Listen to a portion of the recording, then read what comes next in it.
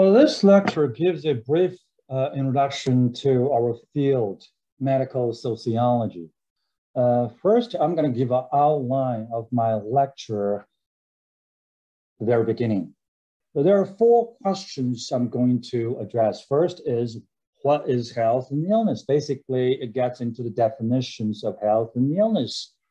Uh, and there are multiple uh, for each. Second question uh, I'm going to address is, what is medical sociology and what are its subfields, kind of areas, um, different components that medical sociology gets into. And third question I'm going to talk about is or address is what are the main stages of development of uh, modern medicine? Three stages.